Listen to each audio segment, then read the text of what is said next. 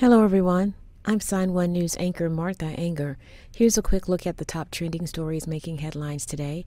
If you post an interesting comment during this update, we may add it at the bottom of the screen.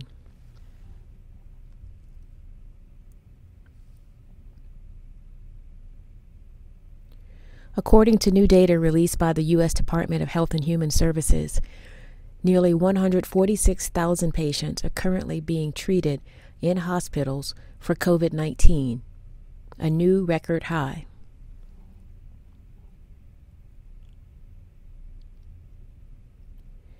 The number of children in hospitals with COVID also reached a new high.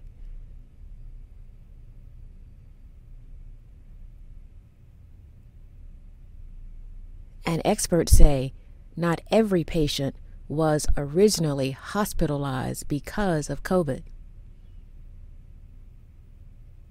Some were admitted for another illness but tested positive while in the hospital.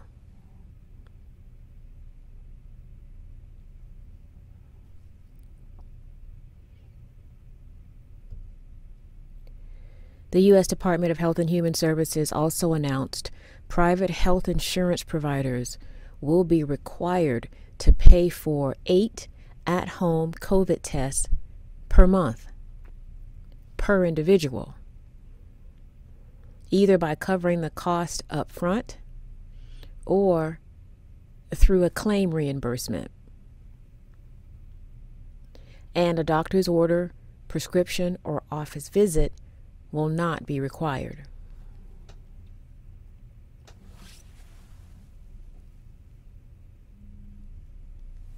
The medical examiner has released new details in the sudden death of actor Bob Saget, who was found unresponsive in his Orlando hotel room.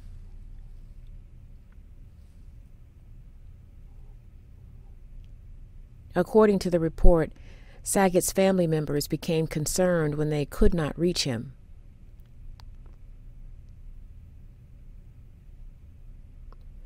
When hotel security opened his room, they found him cold to the touch. His skin was yellow and clammy.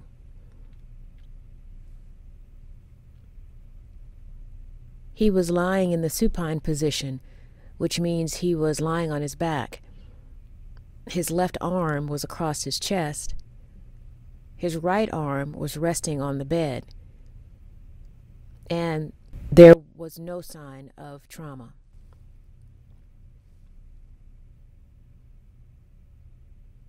The medical examiner also says there was no sign of drug use or foul play. And it will take 10 to 12 weeks to complete their investigation into Saget's death.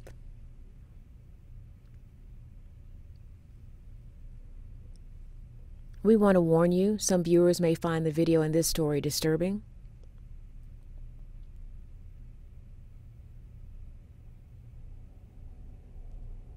It is unbelievable video captured at the scene of a small plane crash in Los Angeles when the pilot crashed on a train track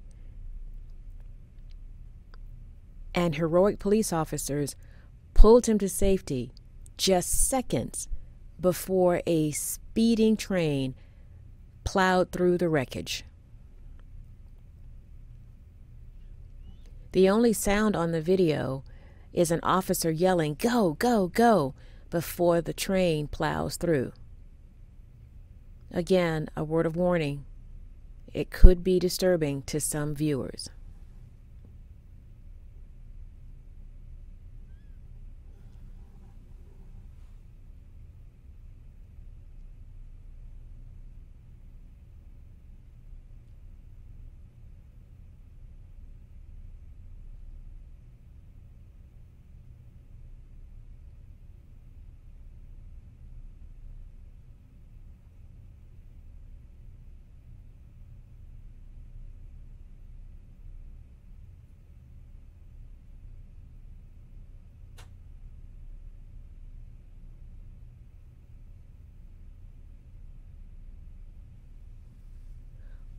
Wow. That was a close call. That looks like it was straight from the horror movie Final Destination. Do you remember the first movie? Wow, that's what it reminded me of. The FAA is now investigating the incident, but LAPD officials say the quick actions of those responding officers saved that pilot's life.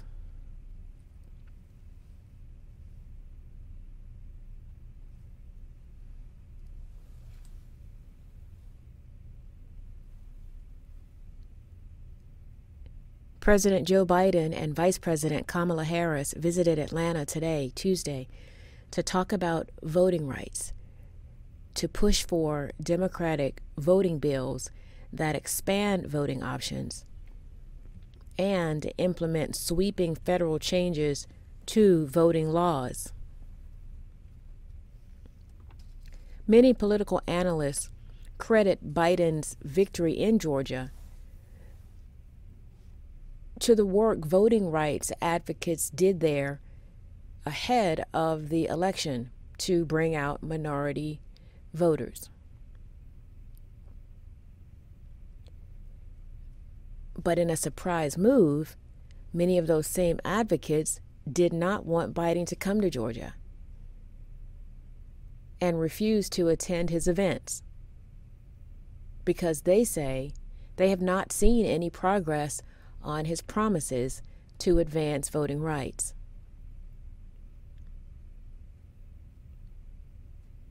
One voting rights leader said, We don't need another speech. We need a plan.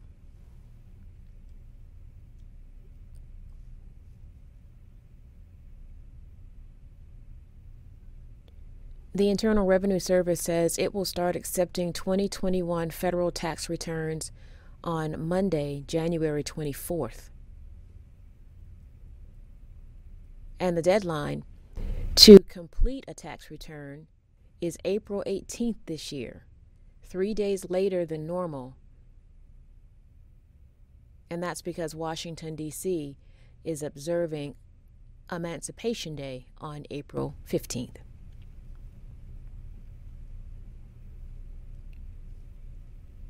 Treasury officials are already warning of processing delays because the IRS has millions of backlogged returns. But if you are owed a refund, the typical turnaround is still 21 days if you opt for direct deposit.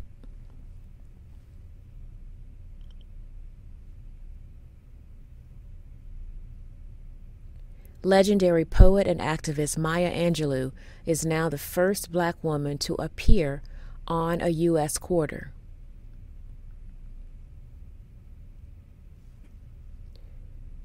The U.S. Mint announced the Maya Angelou Quarter is the first in the American Women Quarters program, which will include coins featuring prominent women in American history. The coins will start rolling out later this year and through 2025.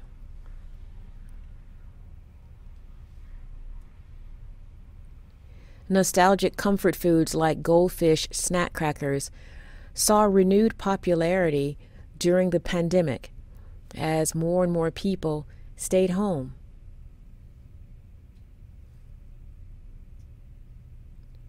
So Pepperidge Farm decided to boost the appeal of its goldfish crackers among adults by creating a new product called Goldfish Mega Bites. Obviously, they are bigger than the uh, regular snack crackers. But Pepperidge Farms also hopes adults dig its bigger, spicier flavors like sharp cheddar and cheddar jalapeno. Fun fact even though goldfish crackers are usually associated with kids, when they first launched in 1962, They were actually marketed as a bar snack to go with drinks. Adults never really stopped eating the crackers. In fact, almost half of its customers don't have kids in the house at all.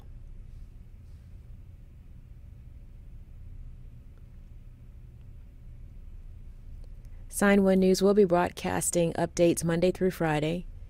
Then this Saturday at 6 p.m., join us for a live panel of diverse guests to discuss the hot topics of the week.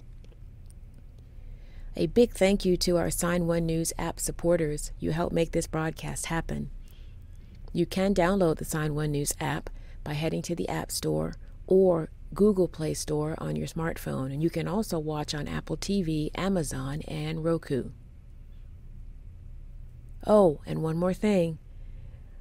We want to send a big congratulations to the University of Georgia football team for winning its first national championship in 40 years. Go, dogs.